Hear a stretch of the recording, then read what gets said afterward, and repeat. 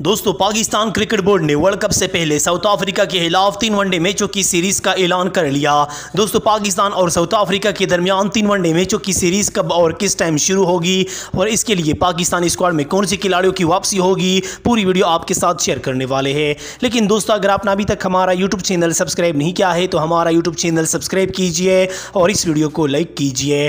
दोस्तों, Asia cup हारने के बाद अब पाकिस्तान क्रिकेट बोर्ड ने यह फैसला कर लिया कि वर्ल्ड कप से पहले पाकिस्तानी टीम को प्रैक्टिस का मौका मिलना चाहिए, जिसके लिए साउथ अफ्रीका और पाकिस्तान के दरमियान तीन वनडे मैचों की सीरीज़ शेड्यूल कर दी गई है। दोस्तों, पाकिस्तान और साउथ अफ्रीका के दरमियान तीन वनडे मैचों की सीरीज़ पाकिस्तान में खेली जाएगी, क्योंकि पाकिस्तान और भारत की कंडीशन एक जैसी है।